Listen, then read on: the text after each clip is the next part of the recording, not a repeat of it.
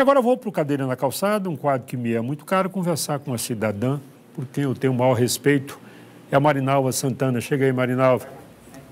Bom dia. Bom dia, Por favor. Sabanque, a casa é sua. Bom, a Marinalva eu conheço há bastante tempo, é das bandas de São Nonato, conheci o pai dela, o pai dela era funileiro, o seu Berto.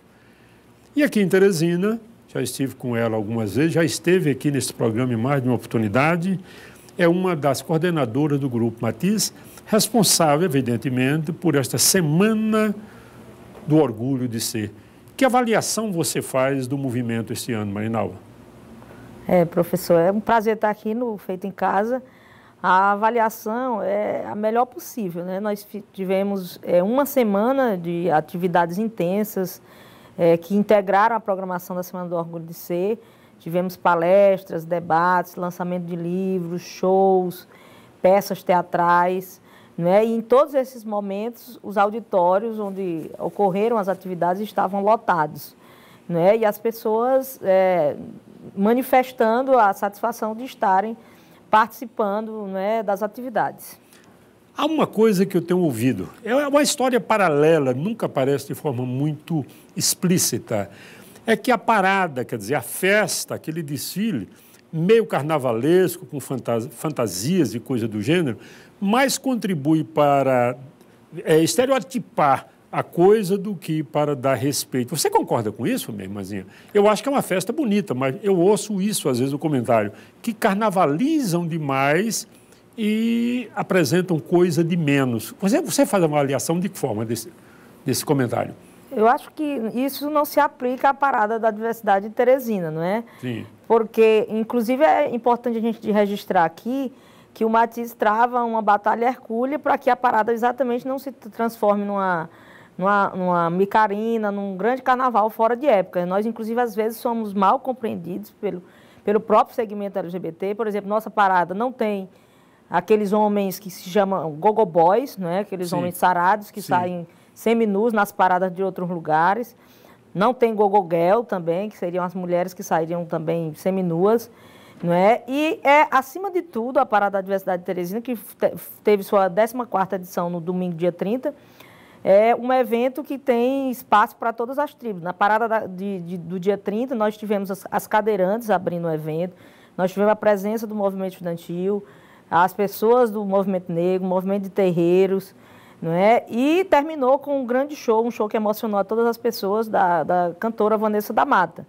Não é? Isso porque o Matiz tem esse cuidado de transformar, é, de, de, de, lutar para que a parada seja um momento de reivindicação, mas é, que agregue não é, todas as, as vozes que, que são oprimidas em nosso, em nosso país. Não é? E eu acho que a gente tem conseguido, não é, pela própria repercussão, pelos própria, próprios comentários das pessoas, acredito que a gente não é, consegue esse objetivo.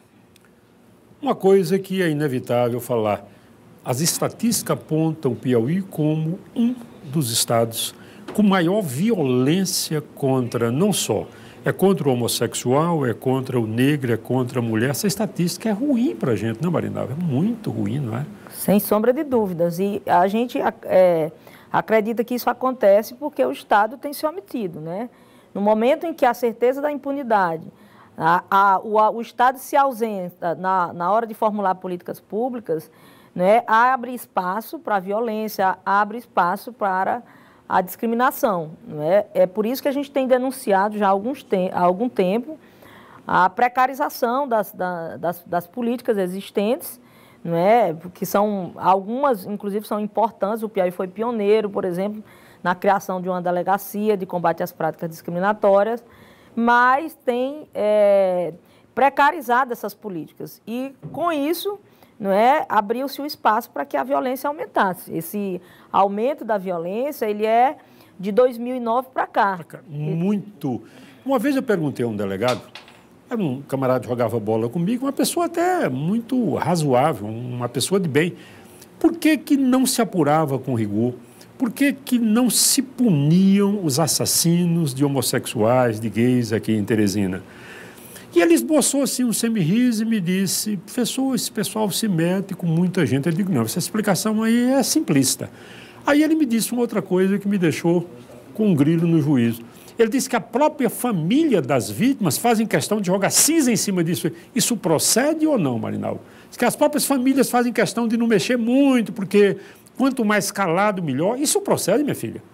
Olha, há casos, há casos que eu diria isolados, de famílias que não querem é, mencionar né, a condição de, de, gay ou de, de, de lésbica da, da, da vítima né, do, do, crime de homofobia, que no caso é sempre praticado com requinte de crueldade. Muita crueldade, sempre, sempre com muita crueldade. Pois é, mas isso não é desculpa para que a polícia se, é, não faça o seu papel. A gente tem dito que a polícia do Piauí tem um dos corpos é, de funcionários, de servidores mais competentes, delegados, peritos, agentes, não é? e quando quer investigar, descobre crimes muito mais complexos do que os por exemplo, 13 assassinatos que ceifaram vidas de LGBTs em 2014. É um número muito alto. Dá mais de um assassinato por mês. E desses, né, poucos nós tivemos é, a, o indiciamento do, do, do, assassino ou dos assassinos.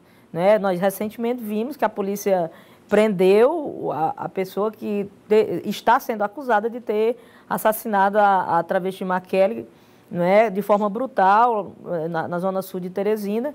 E a gente aguarda, vai, vai acompanhar as apurações e exigir, obviamente, a punição né, que um crime tão odioso, tão bárbaro é, merece. Bem, muito cuidado com essa história de não é comigo, eu não sou gay, eu não sou homossexual, eu não sou lésbica, logo eu não tenho nada a ver com isso. Há um poema do Bert sobre isso que é bom refletir, não é? Vieram matar os comunistas, eu não era comunista, vieram matar os negros, eu não era negro, vieram matar os homossexuais, não era. Quando chegou a minha vez, não havia quem falasse por mim.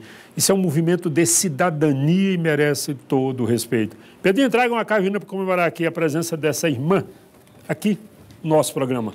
Por favor, chegue aqui. Então, o recado está dado.